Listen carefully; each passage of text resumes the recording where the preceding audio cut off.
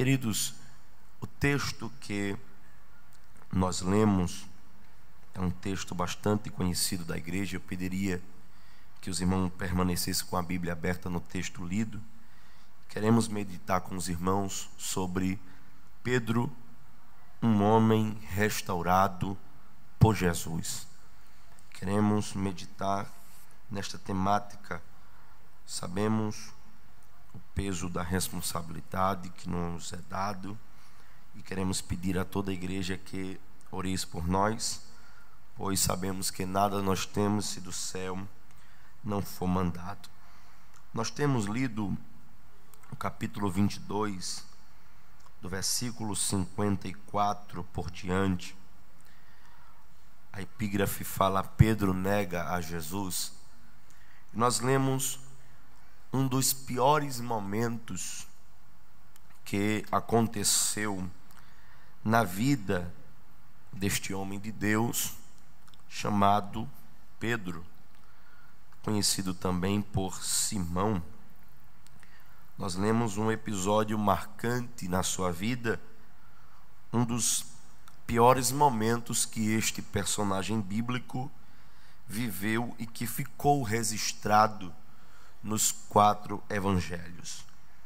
Pedro foi um homem escolhido por Jesus em seu ministério terreno e que, olhando para a sua vida, nós vamos ver que Pedro vivia uma vida praticamente normal até conhecer a Jesus. Pedro tinha uma família, Pedro tinha uma profissão, era pescador, vivia da pesca e quando o Senhor Jesus estava em seu ministério terreno, chamando aqueles que iriam acompanhá-los nesta, nesta jornada, nós vamos ver que o Senhor enxerga em Pedro, em Simão, que também é conhecido por Simão, a figura de um discípulo, de um apóstolo, alguém que poderia exercer esse chamado. Nós vamos ver isso em Marcos capítulo 1. Observe você na sua Bíblia, por favor. Quando o momento em que Jesus tem um encontro com este homem, capítulo 1 do Evangelho de Marcos, versículo 14, diz a epígrafe, a vocação dos primeiros apóstolos, e diz que depois que João foi entregue à prisão, veio Jesus para a Galiléia pregando o evangelho do reino de Deus e dizendo: O tempo está cumprido e o reino de Deus está próximo. Arrependei-vos e crede no evangelho e andando junto ao mar da Galileia, viu Simão e André, seu irmão, que lançava a rede ao mar, pois eram pescadores. Então, na biografia de Pedro, nós vamos aprender que ele vivia deste ofício, desta profissão, desta prática da época que era a pesca. Não só ele, mas a gente observa aqui que também a sua família, o seu irmão, que estava praticando e pescando também juntamente com ele. O versículo de número 17 vai dizer: E Jesus lhe disse: Vinde após mim, e eu farei que sejais pescadores de homens. Aqui está a parte em que Jesus chama a este homem chamado Simão, que também conhecemos por Pedro. Pedro é uma palavra grega chamada Petros, que quer dizer pedra pequena ou fragmentos de pedra. E aqui, irmãos, a partir deste versículo que nós lemos, a vida deste homem vai mudar por completo. Por quê? Porque toda a vida que Pedro vivia, normal, natural, sem viver algo novo, a partir daqui iria mudar completamente o seu estilo de viver. Quando Jesus diz a eles: Vinde, após mim eu farei pescadores de homens, que sejais. A Bíblia diz no versículo 18, observe você, que eles deixaram logo as suas redes e seguiram a Jesus, porque o convite de Jesus foi um convite que trouxe segurança tanto para Simão quanto para o seu irmão André. É bem verdade que quando Jesus chama, ele se responsabiliza pelaquele a quem ele chama. Se Jesus estava chamando a Simão, logo Jesus estava se responsabilizando pela vida daquele homem. E quando ele deixa as redes, é uma atitude clara. Pedro está demonstrando total confiança naquele chamado. Então, nós vamos observar que a partir daqui, deste chamado, Pedro vai mudar por completo a sua história. Nós vamos ver que Pedro tem família, pois está registrado no livro de Marcos, no próprio livro, folheie a sua Bíblia para o capítulo de número 1, versículo 29, você vai ver que Pedro tinha uma casa, tinha esposa, tinha sogra. Então Pedro era uma pessoa comum. Jesus enxergou nele a possibilidade de exercer este chamado tão glorioso.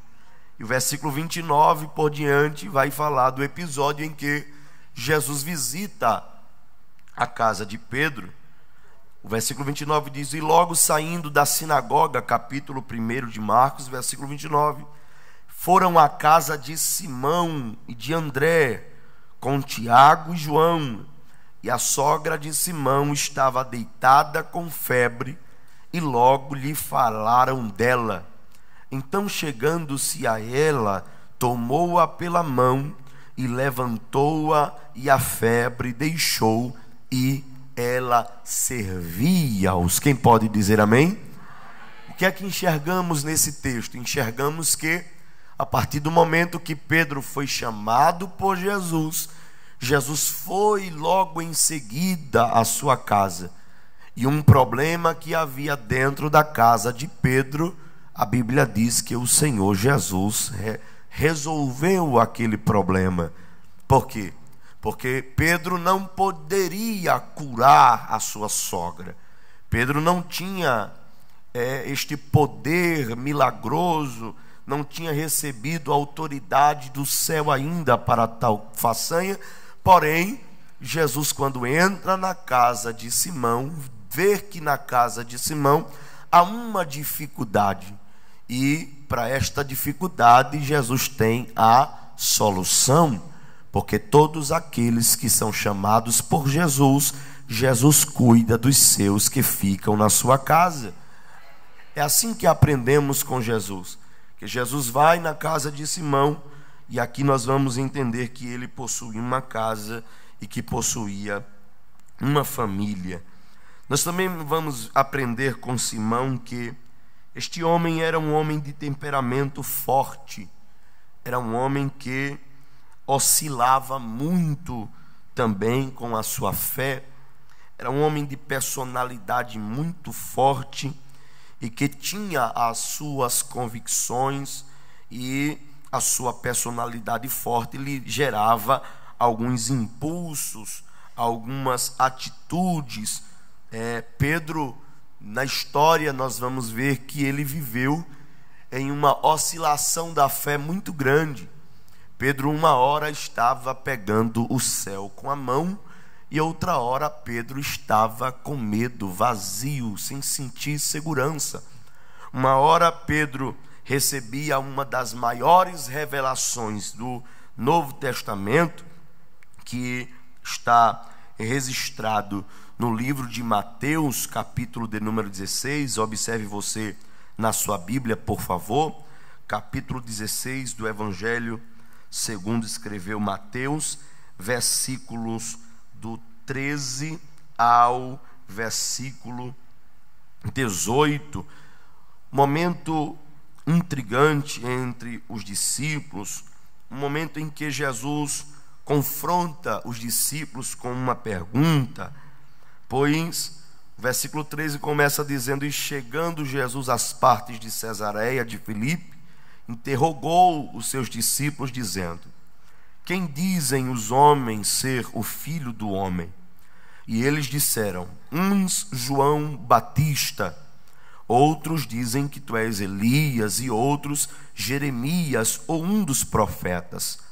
Jesus questiona os discípulos com uma pergunta, dizendo: Dize-lhes, e vós, quem dizeis que eu sou? Quando Jesus faz essa pergunta no meio dos apóstolos, dos discípulos, quem sabe houve um silêncio na hora e ninguém teve a coragem de responder quem era Jesus para eles. E a Bíblia vai nos mostrar que Pedro é o único movido por sua personalidade forte, pelo seu jeito, pelo seu estilo, por seus hábitos. Automaticamente Pedro toma a voz e transmite aquilo que está no seu coração, porque Pedro já estava andando com Jesus, conhecia a Jesus, estava vendo prodígios, sinais e maravilhas, e Pedro faz uma seguinte exclamação, versículo 16: E disse Simão Pedro, e respondendo Simão Pedro disse: Tu és o Cristo, o Filho do Deus vivo. E Jesus respondendo disse: Bem-aventurado és tu, Simão Barjonas, Aqui é onde mostra o nome da, do pai de Simão, que é Jonas, porque a palavra Simão era o nome dele, Bar quer dizer pai, e Jonas é o nome do pai, Simão Bar Jonas, Simão filho de Jonas. Quando ele diz assim: Bem-aventurado és tu, Simão Bar Jonas, porque não foi a carne e o sangue que tu revelou, mas meu Pai que está nos céus. Aí Jesus dá uma afirmativa para ele também. Porque se Pedro conhecia Jesus e afirmou quem Jesus era para ele, aí Jesus disse: Agora eu vou te dar outra afirmativa do que eu represento para esta afirmativa que você falou. Jesus disse para ele assim, versículo 18: Pois também eu te digo que tu és Pedro, e Pedro no grego já disse é Petros, pedra pequena. Jesus disse: Tu és pedra pequena, mas sobre esta pedra edificarei a minha igreja e as portas do inferno não prevalecerão contra ela. Quem pode dizer glória a Jesus? Esta é a afirmativa de Jesus. Enquanto Pedro dá uma da que Cristo representava para ele, Jesus diz: Agora eu vou dizer para você quem de fato eu sou. Eu sou a pedra que está edificada, a igreja está edificada nela, e as portas do inferno não vai prevalecer contra a minha igreja. Isso é uma promessa também de proteção, porque a partir do momento que você recebe a Jesus como seu Salvador, e você entra, na, faz parte da igreja de Cristo que vai morar no céu, você está enquadrado dentro desta promessa de que as portas do inferno não vai prevalecer contra a tua vida. E diante desta afirmativa de Cristo, eu quero dizer para você que Jesus, dentro desta afirmativa, está protegendo você, protegendo a sua casa, protegendo a sua família, para que o nome dele seja glorificado na sua vida. Quem pode dizer amém?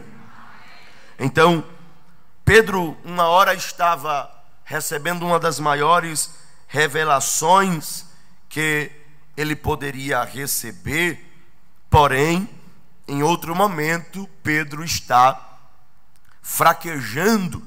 Nós vamos observar isso em Mateus, capítulo de número 14.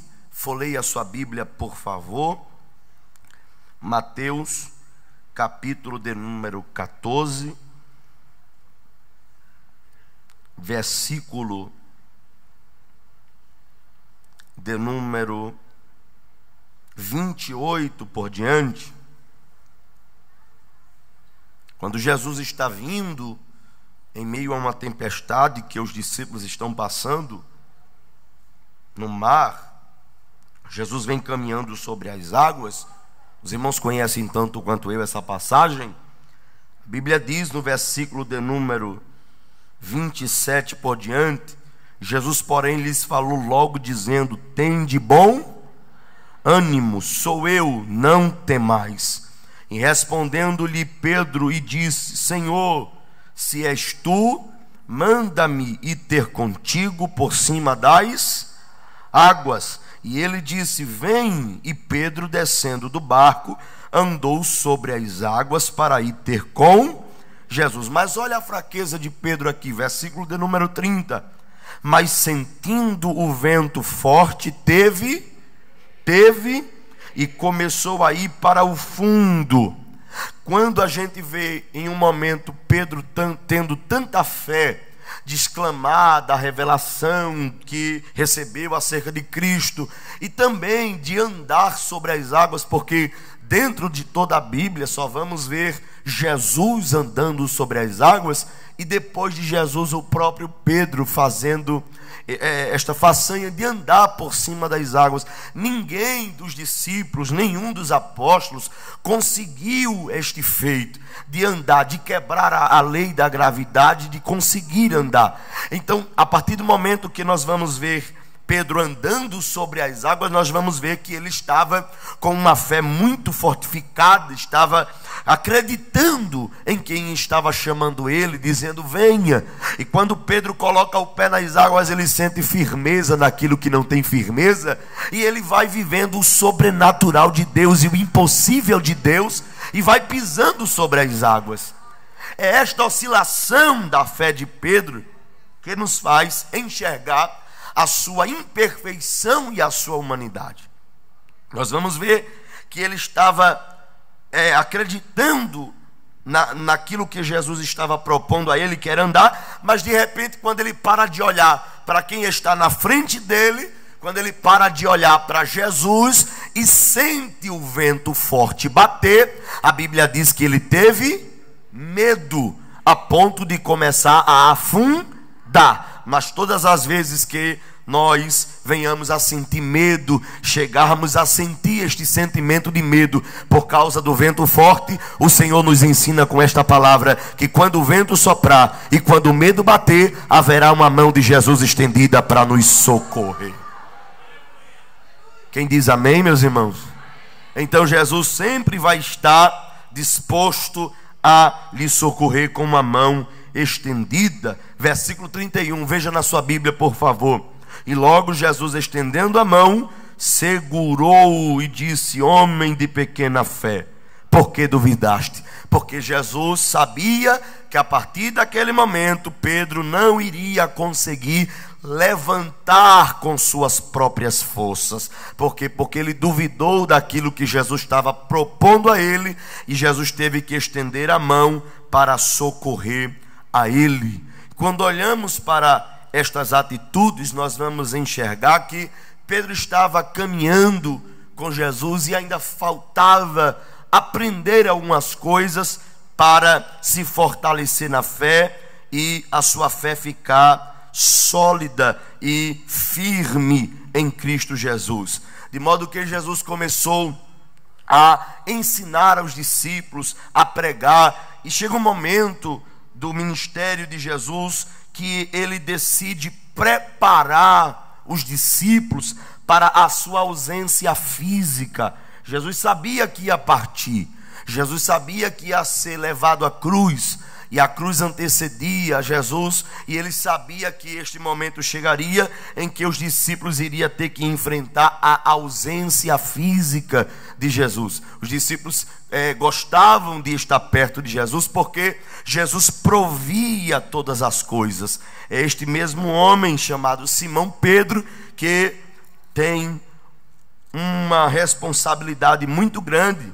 Nós vamos ver isso em Mateus capítulo 17 quando os credores vai cobrar a Jesus o imposto, os impostos, é, Pedro vive uma experiência também muito boa de quando Jesus chega até Pedro, ele recebe a cobrança. Vamos ver capítulo 17 de Mateus, versículo de número 24 por diante, diz assim: E chegando eles a Cafarnaum, Aproximaram-se de Pedro os que cobravam as de dracmas e disseram: Vosso mestre não paga as dracmas? E disse ele: Sim. E entrando em casa, Jesus lhe antecipou, dizendo: Que te parece, Simão? De quem cobram os reis da terra os tributos ou os impostos? Dos seus filhos ou dos alheios? O que me chama a atenção é que os, os cobradores de impostos pod, poderiam procurar Judas, que era o tesoureiro do ministério de Jesus, que carregava a bolsa, que carregava tudo o que era depositado no ministério de Jesus, porém eles foram direto para quem? Para Pedro. Porque aqui a intenção dos cobradores de impostos era mexer e causar alvoroço no ministério de Jesus. E quando ele vai a Pedro, ele vai porque sabia que Pedro era explosivo. Ele achava, meu pastor, que Pedro iria responder com uma resposta ignorante achava que ia colocar Pedro em maus lençóis, e eles vai diretamente a Pedro perguntar se mestre não pagava. Porque Pedro era tão brabo, tão ignorante, que quando alguém ia aprender a Jesus, ele pegava até na peixeira para cortar a orelha. Foi o que aconteceu com Malco. Mas aqui parece que Deus deu uma anestesia do céu em Pedro, porque a resposta dele foi bem simples. Ele disse: paga. Sem nem saber se pagava, ele disse: paga. E quando ele vai entrando para dentro de casa para perguntar, o texto vai dizer que Jesus lhe antecipou. O que é que entendemos? Que quando Pedro está entrando, Jesus já está está saindo. E quando Jesus está indo de encontro a ele, já sabia o que tinha acontecido lá fora. Ele disse: O que te parece, Pedro? O que é que está acontecendo? Vai lá no alto mar, ou melhor, vai no mar, joga um anzol e tu pega o peixe que vier, oh glória! E o peixe que vier vai ter uma moeda, você vai pagar o meu e o teu tributo, porque Jesus cuida daqueles que servem a Ele com fidelidade. Então Pedro provou dos cuidados de Jesus. Pedro provou desta desta paternidade de Cristo em cuidar dele nos mínimos detalhes. Porque em outra hora Pedro pegaria o dinheiro do bolso e diria: Eu pago porque eu trabalho. Mas agora, meu pastor, ele estava deixando as redes de lado. Ele deixou o que lhe gerava lucro, o que ele tinha condições de ter o seu dinheiro, o seu sustento. E Jesus não é injusto para chamar alguém e não cuidar deste alguém. Ele mantém aqueles a quem ele chama, ele cuida, não falta nada, porque Jesus é provisão e providência para aqueles que confiam nele. A Bíblia vai dizer que este Pedro que provou tudo isso foi o mesmo Pedro que agora entrou em uma decadência e uma descida muito trágica na sua espiritualidade, pois nós vamos ver que a queda deste homem chamado Pedro não foi uma queda, uma queda repentina. A queda de Pedro teve alguns degraus. Pedro não caiu de uma hora para outra, até porque antes ele foi avisado. Jesus chama a Pedro e avisa o que ele iria o negar. Jesus deixou bem claro. Porém, a sua arrogância, a sua prepotência em se achar melhor do que os outros discípulos, porque até dentro dos três mais próximos, Pedro estava incluído. Pedro estava incluído naqueles que andavam perto, mais próximo a Jesus. E o versículo de número 54 do capítulo de número 22 do livro de Lucas, onde nós lemos, começa a nos mostrar os degraus da queda de Pedro. Nós vamos ver que prenderam a Jesus e o meteram em casa do sumo sacerdote, e o primeiro degrau da queda de Pedro está aqui. E Pedro seguia-o de, de longe. Olha a primeira queda de Pedro. Pedro começou a seguir Jesus de longe. É um perigo quando um crente está vivendo longe de Jesus. É um perigo quando um cristão está seguindo Jesus de longe. Porque o relacionamento de um crente com Jesus tem que estar perto. Jesus não é um Deus que quer estar longe de você. Ele disse: Eis que estarei convosco todos os. Até na ausência física, ele disse: Eu rogarei ao Pai que envie o consolar, para que consolasse, para que estivesse perto de nós. Jesus não gosta de um relacionamento de longe, à distância. E Pedro começa a seguir a Jesus de longe. Jesus vai andando, passando pelos seus processos que antecediam a crucificação. E Pedro agora está só observando de longe. E aquele que tinha tanta coragem, agora não tem coragem de chegar perto daquele que haveria de morrer por ele na cruz do Calvário. Primeiro, é, nós vamos ver aqui em Marcos capítulo de número 16, vamos ver, perdão, capítulo Lucas, perdão, meus irmãos, Lucas, lá onde lemos, Lucas capítulo de número 22, versículo 31, quando ele é avisado, veja o que disse Jesus, disse também o Senhor, Lucas 22 e 31, Simão, Simão, Eis que Satanás vos pediu para andar como trigo, mas eu roguei por ti para que a tua fé não desfaleça. E tu, quando te converteres, confirma teus irmãos. E ele lhe disse: Senhor, estou pronto a ir contigo até a prisão e a morte. Olha a mentira que Pedro disse. Jesus disse para ele assim, ó, mas ele disse: Digo-te, Pedro, que não cantará hoje o galo antes que três vezes negues que me conhece.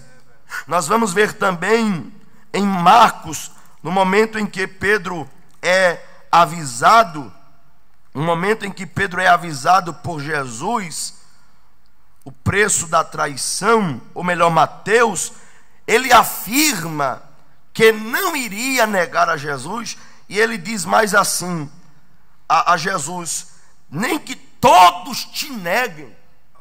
Ele afirma dizendo, Pedro é avisado, capítulo 26 de Mateus, veja na sua Bíblia, por favor, versículo 31. Então Jesus lhe disse: Todos vós, esta noite vos escandalizareis em mim, porque está escrito: Ferirei o pastor, e as ovelhas do rebanho se dispersarão mas depois de eu ressuscitar, irei adiante de vós para a Galileia. Versículo 33, outro degrau da queda de Pedro. Mas depois, versículo 33, mas Pedro respondendo disse-lhe: Ainda que todos se escandalizem em ti, eu nunca me escandalizarei. Sabe o que é que Pedro está dizendo aqui? Se todo mundo te, se escandalizar e te deixar, eu não vou fazer isso. Ele se julgou melhor do que todo mundo. Ele respondeu pelos outros que ficaram em silêncio. Olha a queda de Pedro. Pedro vai descendo uma escada sem freio e ele não vai percebendo que está caindo espiritualmente e vai se julgando ser melhor do que os companheiros, vai dizendo que não, não, não, não vai negar a Jesus de forma alguma. Depois ele diz que vai até a morte com Jesus, mas a Bíblia diz que ele começa a seguir a Jesus de longe. E quando chega uma criada para pegar junto de Pedro, diz assim: vê ele lá na fogueira se esquentando porque já estava com frio. E a Bíblia diz que a criada diz assim: Olha, ei, você é um deles. A Bíblia diz que Pedro diz: Eu não sou. Outra, outro degrau da queda de Pedro é quando ele nega a sua fé. Ele nega a sua identidade de cristão.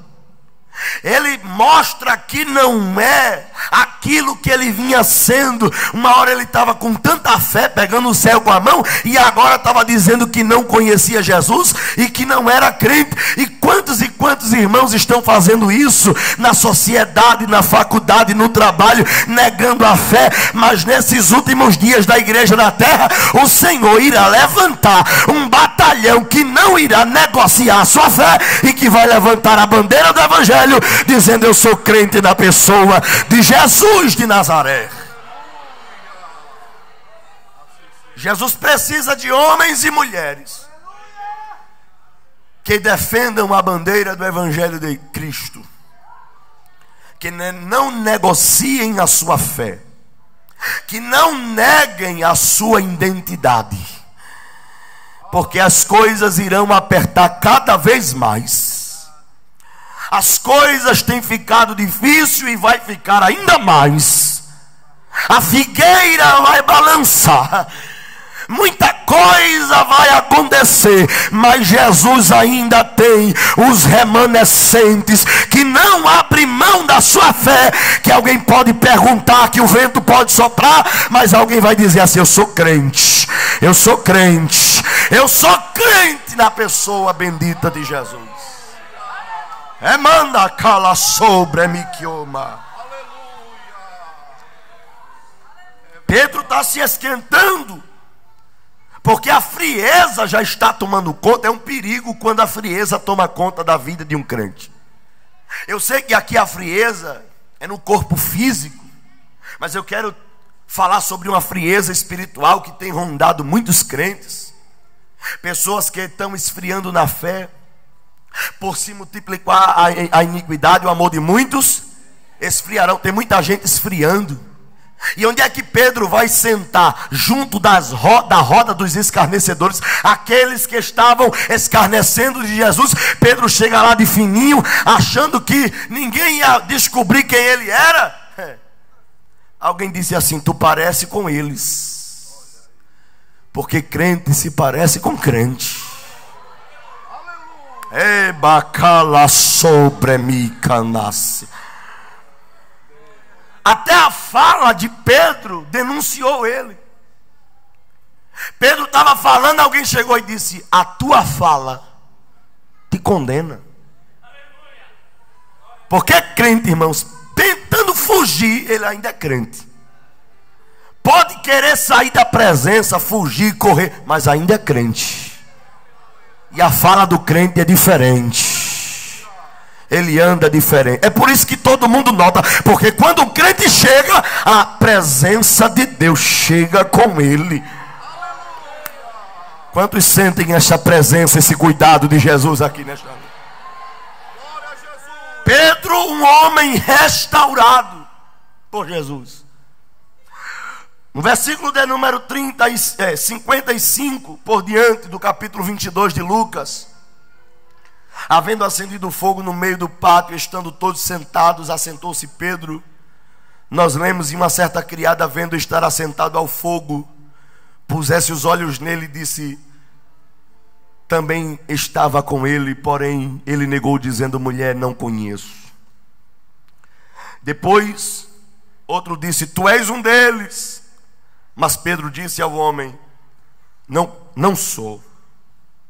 Versículo 60, Pedro disse, versículo 59, e passada quase uma hora, um outro afirmava, dizendo: Também este verdadeiramente estava com ele, pois também é galileu. E Pedro disse: Homem, não sei o que dizes. E logo estando ele ainda a falar, cantou o galo porque haveria de se cumprir o que Jesus falou. Porque todas as palavras que Jesus falou não caíram por terra, e nem vai cair, porque passará os céus e a terra, mas as palavras de Jesus não hão de passar. Pedro, quando escuta o galo cantar, caiu em si e viu que estava em um abismo e que não tinha força mais para sair. O versículo que nós lemos no capítulo de número 22, versículo 61, diz que virando-se o Senhor, olhou para Pedro, e Pedro lembrou-se da palavra do Senhor, como lhe tinha dito: Antes que o galo cante hoje, me negarás três vezes. E saindo Pedro para fora, chorou amarga, caminhando para o fim, meus irmãos. Quando Pedro negou, Jesus estava por perto. Até no momento que a gente nega Ele, Ele está por perto, nos olhando. Por quê? Porque ainda que sejamos infiéis, Ele permanece fiel. Pois não pode negar-se a si mesmo. Jesus passando, e quando Pedro virou, quem estava passando para ser julgado e condenado? Jesus. E Jesus olha para Pedro, e o olhar de Jesus não é como o olhar de muita gente, porque o olhar de Jesus ali não foi para julgar o que ele fez, foi um olhar de amor, foi um olhar de perdão, foi um olhar de ternura. E eu sinto o Espírito Santo de Deus aqui nesta noite, dizendo: Eu estou olhando para você com um olhar de graça e de misericórdia. Porque se dependesse de alguém, Pedro era riscado do livro da vida, aqui e agora. Mas Jesus passou olhando para ele, e aquele olhar de Jesus dizia: Nem tudo está perdido, levante a cabeça, há perdão para a sua alma, porque Jesus ama aqueles que querem o perdão. Pedro olhou e aquele olhar foi lá no mais profundo e constrangeu a Pedro de modo que ele vai chorar. Mas lá em Marcos capítulo 16, quando Jesus ressuscitou, e aqui eu vou encerrar, Marcos, veja na sua Bíblia, por favor. Veja na sua Bíblia, por favor, Marcos 16 capítulo 16, versículo 7. Quando Jesus ressuscitou, que as mulheres foram ao sepulcro, que Jesus apareceu a elas. A Bíblia diz que Jesus manda um recado. Versículo 7. Mas ide, dizei aos seus discípulos, ou melhor, um anjo apareceu e disse: Olha, dizei aos seus discípulos. E o versículo 7 diz: E a, e a. Observe que a contagem aqui de Pedro não está junto com os discípulos. Porque já, o anjo diz assim: digam aos discípulos e a Pedro. Porque Pedro nem se considerava mais um discípulo. Pedro nem se considerava mais um apóstolo. Mas enquanto Pedro estava mergulhado na amargura de ter negado a Jesus, Jesus disse: Diga a ele, diga a ele que eu irei adiante deles para a Galileia e ali eu os verei. Quando as mulheres foram dizer isso dá o recado do anjo que estava sentado sobre a pedra. É interessante que em Lucas capítulo 22, no versículo de número.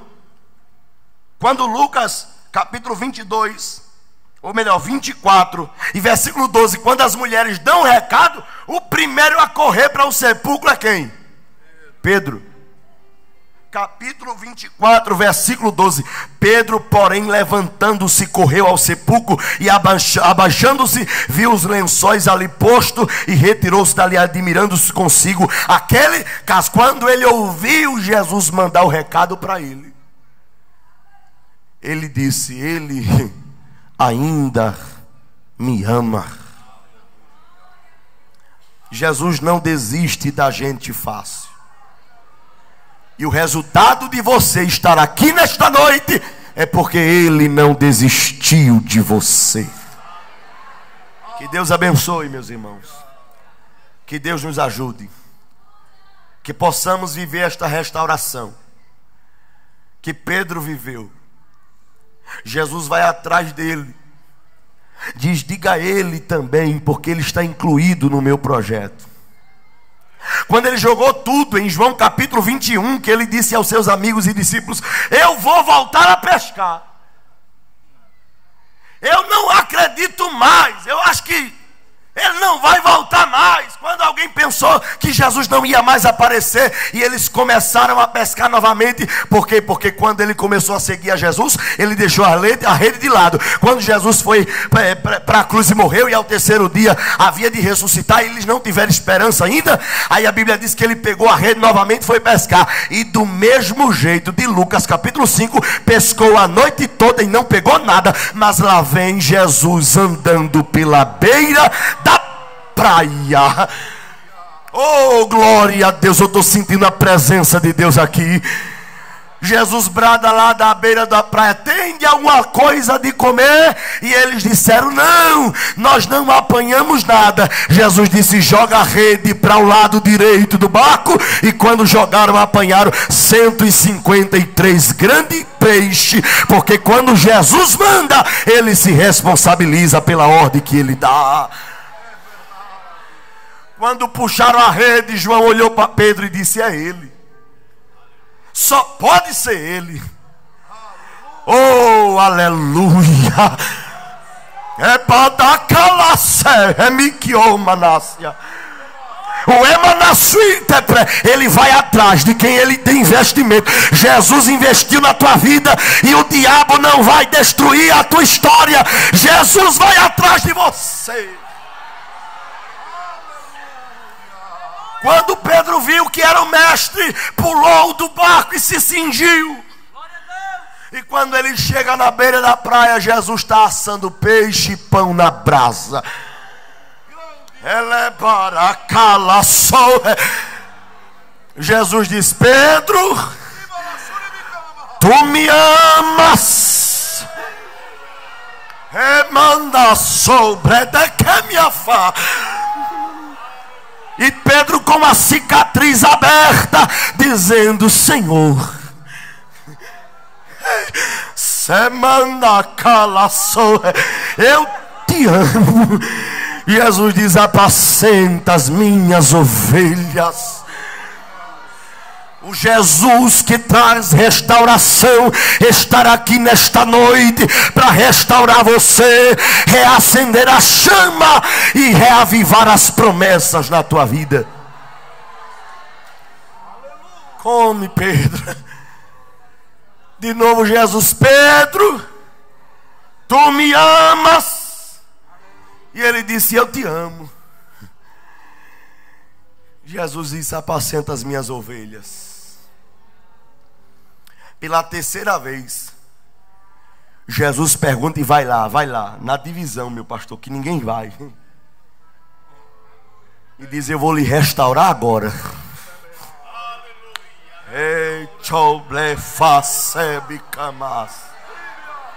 Você me ama, Pedro? Ele diz: Senhor,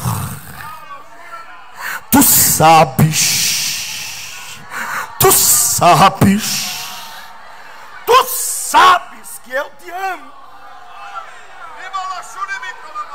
Alguém olhou para Pedro e disse: Acabou, já era. Mas lá em Atos está escrito que quando todos estavam zombando no dia de Pentecoste, foi Pedro que levantou a voz e pregou um dos maiores sermões do Novo Testamento. E naquela noite, quase 3 mil almas se converteram a Cristo, porque Jesus restaura aqueles que querem a restauração. E que Deus abençoe. Nós somos a A em Paz, braço forte das ações sociais da IEADALP, que desenvolve este grande projeto com transparência e responsabilidade, incentivando o combate à pobreza, de maneira a preservar a dignidade das pessoas. Com competência, ética, empatia e respeito, atendemos cerca de 1.220 crianças, adolescentes, mamães e bebês nas áreas socioemocional, cognitiva, física e espiritual. Nosso compromisso é fazer o bem. Em nossos cinco núcleos, nas cidades de Abreu e Lima, Paulista, Bezerros, Catende e Jurema, as crianças recebem suporte escolar, realizam exames médicos, participam de oficinas de grafitagem, filtro e biscuit e praticam esportes como o futebol e o judô. Além disso, são distribuídas refeições não só para as crianças, mas para toda a comunidade e milhares de cestas básicas para as famílias assistidas pelo projeto. E mais, em nosso projeto, além de realizarmos um evangelismo pessoal, as crianças são acompanhadas constantemente por uma psicóloga. Nós ajudamos pessoas e fazemos questão disso, porque é isso que nos define. Nós somos a A em Paz. Nós somos a IEADALP.